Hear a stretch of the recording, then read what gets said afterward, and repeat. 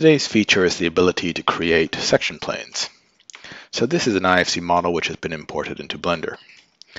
In the Output Properties tab, there is now a new panel called Section Planes. And if you press the Add Section Plane button, this will create a new empty object at the 3D cursor location. This resembles the cut of your new section plane, and this direction of the arrow points at the normal vector of where the section is cutting. The cut happens in an infinite direction. You don't currently see the cut because we're in the solid view, but if we change it to a material preview or a rendered mode, you can see the cut, like so. You'll see that the cutting is practically instantaneous and live as you move it up and down the model.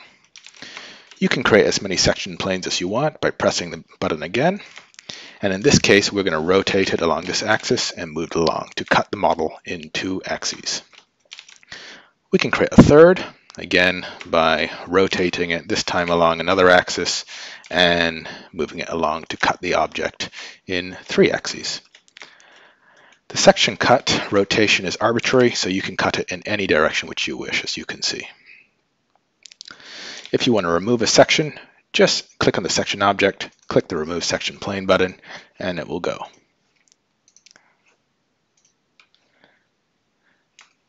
It's also possible to only section some objects while leaving other objects non-sectioned.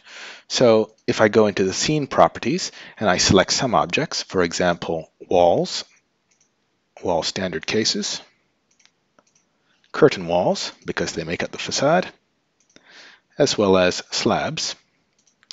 Then if I go back into the output properties and I check this box and I press add section plane again, you'll see that the section is only applied to the objects which I've selected.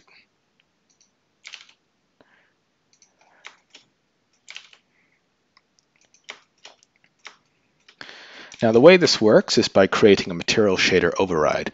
And you can see this because when I select an object, the full outline of the shape is already there. And this means that you can create renders from the section view or use it in documentation. If you're interested in seeing how it actually works, you can click any particular object and you can check its shader editor here, and you'll see that a new node has been added here called a section override, and you can see how that works.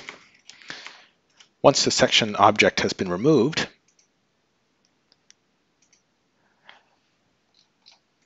then the node disappears.